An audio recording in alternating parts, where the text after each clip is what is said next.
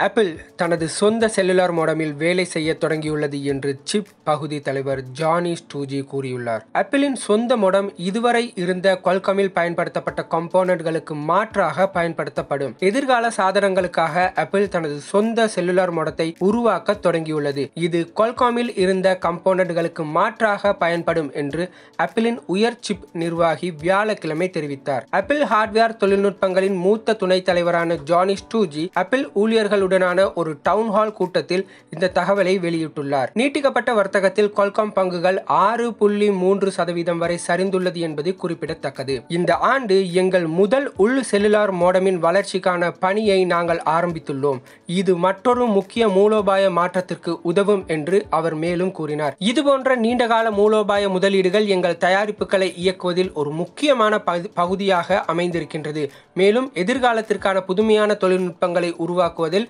சிறந்த நோக்கங்கள் இருப்பதை உறுதி செய்கிறோம் என்று அவர் குறிப்பிட்டார். செல்லுலார் மோடம் என்பது ஸ்மார்ட் போனின் மிக முக்கியமான பகுதிகளில் ஒன்றாகும். இது தொலைபேசி அழைப்புகள் மற்றும் செல்லுலார் நெட்வொர்க்குகள் வழியாக இணையத்துடன் இணைக்க உதவுகிறது. இரண்டாயிரத்தி பத்தொன்பதாம் ஆண்டில் இன்டெல் மோடம் வணிகத்தில் சுமார் ஒரு பில்லியன் டாலர் வரை கையகப்படுத்தியது. ஆப்பிள் தனது சொந்த செல்லுலார் மோடத்தை உருவாக்க வன்பொருள் மற்றும் மென்பொருள் பொறியாளர்களின் குழுவை அமைக்க இது உதவியது என்று ஸ்டூஜி கூறினார். அவர் மேலும் இந்த modem W series Apple watch மற்றும் ஐபோனின் மிகச்சரியான இருப்பிட தகவலை தரும் U one ultra wide band chip உட்பட ஆப்பிள் நிறுவனம் வடிவமைத்த ஒரு சில வயர்லெஸ் சிப்புகளில் ஒன்றாகும் என்று குறிப்பிட்டார்.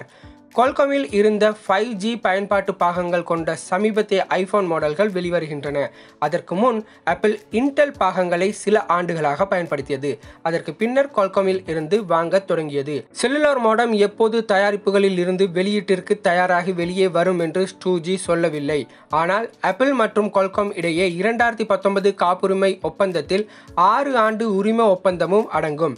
கொல்கம் தொலைபேசி தயாரிப்பாளர்களுக்கு வயர்லெஸ் காப்புரிமையின் அடிப்படையில் உரிம கட்டணம் வசூலிக்கப்படுகிறது. அதன் சிப்பை ஆப்பிள் பயன்படுத்தினாலும் இல்லாவிட்டாலும் என்பது குறிப்பிடத்தக்கது.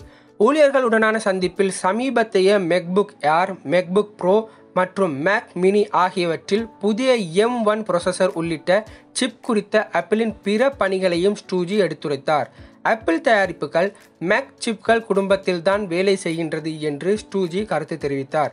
இன்டெலின் வேகமான கணனி சிப்களை விட மேம்பட்ட வடிவமைக்கப்பட்ட சிப்களை ஆப்பிள் திட்டமிட்டுள்ளது என்று ப்ளூம்பர்க் நியூஸ் இந்த வார தொடக்கத்தில் கருத்து தெரிவித்துள்ளது. ஆப்பிள் பல ஆண்டுகளாக கொல்கமில் இருந்து பொறியியலாளர்களை பணியமர்த்தி வருகிறது. இது இந்த மொடத்தை உருவாக்க உதவுகிறது. மேலும் சாண்டியாகோவிலும் கலிபோர்னியா தலைமையகத்திலும் ஐரோப்பாவிலும் உள்ள அலுவலகங்கள் இந்த செல்லுலார் மோடம் திட்டத்தை முதல் முயற்சியாக கொண்டு இயங்கி வருகிறது. ப்ளூம்பெர்க் தொகுத்த தரவுகளின்படி கொல்கம் அதன் வருவாயில் சுமார் பதினோரு சதவீதத்தை ஆப்பிள் நிறுவனத்திடமிருந்தும் இன்டெல் ஐபோன் தயாரிப்பாளர்களிடமிருந்து சுமார் ஏழு சதவீத விற்பனையையும் பெறுகிறது. ஆப்பிள் இரண்டாயிரத்தி பத்தில் ஐபோன் ஃபோ மற்றும் முதல் ஐபேட் ஆகியவற்றில் ஏ ஃபோ பிரதான ப்ரொசஸர்களுடன் தனது சொந்த சிப்களை வெளியிட தொடங்கியது. அப்போதிருந்து ஆப்பிள் இதன் தொடர்ச்சியாக ஆப்பிள் கடிகாரங்கள் ஆப்பிள் டிவி மற்றும் ஹெட்போன்களுக்கான சிப்களுடன் அதன் சிப் உற்பத்தியை விரிவுபடுத்தியுள்ளது. மேக் ப்ரொசஸர்கள் இன்று வரை ஆப்பிளின் மிகவும் மதிப்புமிக்க சிப் வடிவமைப்புகள் ஆகும் செல்லுலார் மோடம் திட்டமும் அதே அளவு சவாலானது என்பது குறிப்பிடத்தக்கது.